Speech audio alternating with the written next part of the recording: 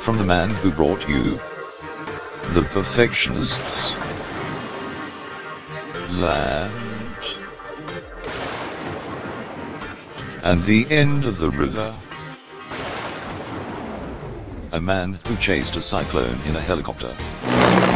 Walked through the North Korean DMZ, and kayaked in an active volcano.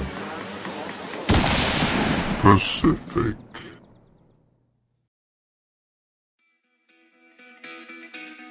In this thrilling book about the world's largest ocean, you will learn about everything from coral reefs and the threats they face. US nuke testing on tropical islands. And the devastating impact they've had on the native people and the environment. North Korean politics.